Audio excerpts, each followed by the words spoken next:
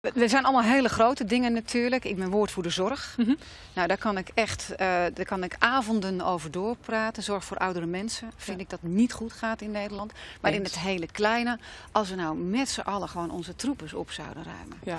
Dan zou Ja, het land een stukje beter uitzien. Dan zouden de treinen schoner zijn. Dus dat is dan een kleine ergernis. Nou,